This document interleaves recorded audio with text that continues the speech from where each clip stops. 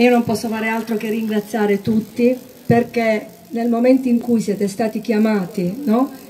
a raccolta per poter contribuire a questo evento, a cominciare dal comune, abbiamo qui il dottor Lonoce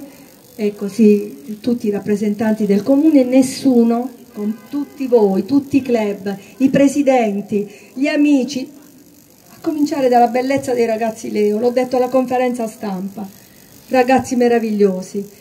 che hanno veramente dato tanto. Quindi che posso dire? Grazie, grazie per essere qui, grazie per aver realizzato questo sogno e io ci tengo sempre, è stato già detto, ma ci tengo sempre a dire che se siamo qui è sempre, per quanto mi riguarda, riguarda mio fratello Vincenzo e tutti i ragazzi